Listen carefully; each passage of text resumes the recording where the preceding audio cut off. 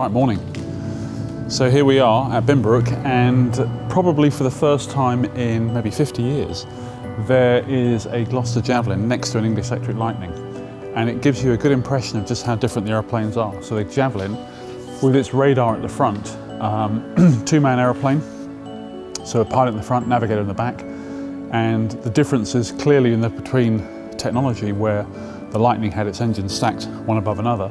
The Javelin has its engines side by side and you can see how small the radar on the Lightning is compared to this huge radar on the Javelin. So this particular uh, Javelin, which came from the Jet Aviation Museum in Gloucestershire, uh, was a very unique aeroplane, never saw RAF service and was a prototype and uh, test aeroplane. So the radar that was in here had a big pitot probe on originally.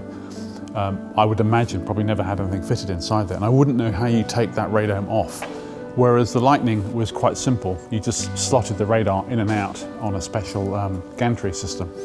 The Javelin had an American radar that wasn't gyro stabilized and that important factor is that the Lightning's radar is gyro stabilized. So whenever the airplane turns like that to the left or right, the radar stays relative to the horizon. Whereas in the Javelin, the radar would move with it, which made the job for the guy in the back who operated the radar very difficult. Uh, other differences, Lightning's got this big refueling probe. Javelin had no refueling probe initially, but then eventually they did put a very similar thing on the right hand, uh, sorry, I think it's on the left hand side, like a great big lance, um, fitted as an afterthought to the Javelin. Moving further back, you've got the pilot sitting at the front, sitting very high, and we're not far off, if it was sat in its undercarriage, how it'd be sat on the ground. So a really huge aeroplane.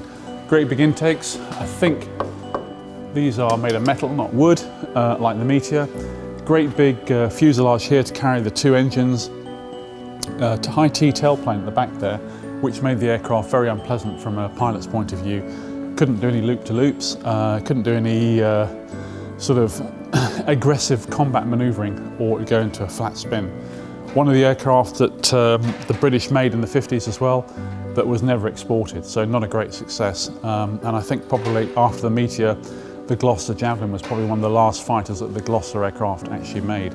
It looks impressive, it's very big, um, it used to make a very strange whining noise when it was flying, and you can see just how huge the wing mounting is with these two mounting bolts here and here and further back.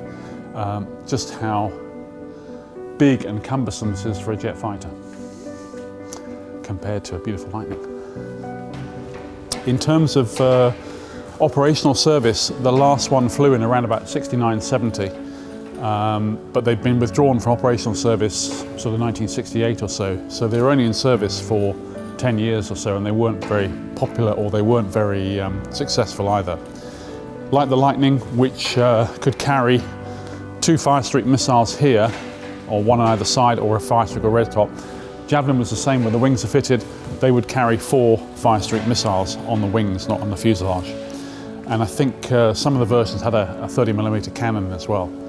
But a very unsuccessful and very much unloved um, British fighter from the Cold War era. But this particular aeroplane, which is the only surviving Mark IV Javelin in the world, is a unique aeroplane and it is back to Binbrook where they had um, Javelins in the early 60s for with 64 Squadron. So it's come to a good place and eventually it'll be restored and uh, it's going to look fantastic outside the SHQ, I'd imagine.